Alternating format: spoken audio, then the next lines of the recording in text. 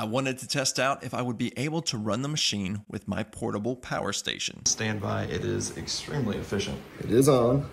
We do have the green light here. But I am seeing no usage at all. Yeah, 25 watts at idle. Okay, the printer is running. Hmm, it's jumping from 30 to 65. Probably has to do with each pass of the UV light.